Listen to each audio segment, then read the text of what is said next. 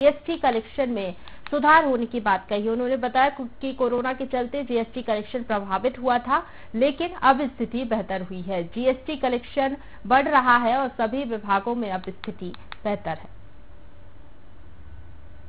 लखनऊ में GST council की बैठक हुई थी और प्रदेश से वित्त मंत्री जगदीश डोडा जी इसमें शामिल हुए थे। क्या कुछ उसमें रहा? हालाँकि दो दिन पहले वो बैठक थी। मध्य प्रदेश के लिहाज से देखा जाए या फिर जीएसटी को लेकर क्या कुछ प्रावधान रहे हैं? हमारे साथ में दुर्गा जी है। दुर्गा जी जो लखनऊ में बैठक हुई उसको देखा जाए तो किस रूप में देखते हैं इस बैठक को बड़े लंबे अरसे के बाद में ये जीएसटी काउंसिल की बैठक फ़िज़िकल हुई है। अभी तक जो बैठक हुई है वो वर्चुअल बैठक हुई थी।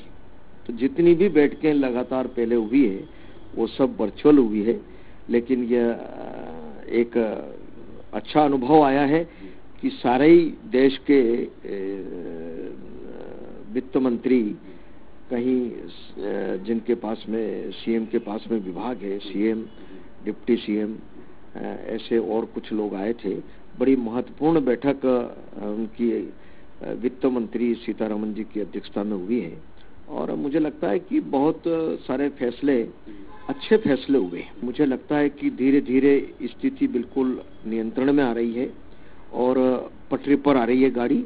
जीएसटी के कलेक्शन में भी काफ़ी बढ़ोतरी हुई है। ऐसे सारे रेवेन्यू डिपार्टमेंट में जिनमें भी कमी आई थी, उनमें भी काफ़ी आगे बढ़े हैं। लेकिन जीएसटी में निश्चित रूप से हम आगे बढ़े हैं। तो आप देख सकते हैं, प्रदेश के वित्त मंत्री जगदीश जोड़ा जी जिस तरह से कह रहे हैं, चाहे लखनऊ जीएसटी काउंसिल की बैठक का मामला हो या फिर जीएसटी कलेक्शन का मामला हो, कह रहे हैं कि बेहतर स्थिति जीएसटी कलेक्शन में प्रदेश की हुई है। कैमरा पर्सन आमिर के साथ राजेश सक्सेना, न्यूज़ वर्ल्ड, भोपाल।